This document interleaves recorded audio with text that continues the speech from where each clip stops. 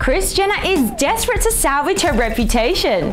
The Keeping Up with the Kardashians matriarch is reportedly suffering from a major cash shortfall at the moment, as the world focuses on her ex-partner Caitlyn Jenner, who was previously known as Bruce Jenner before undergoing a gender transition.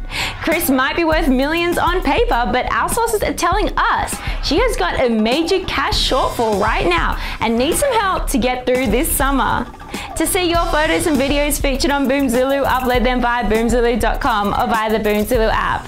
I'm Ruby, and for the most up to date celebrity news, check out boomzulu.com.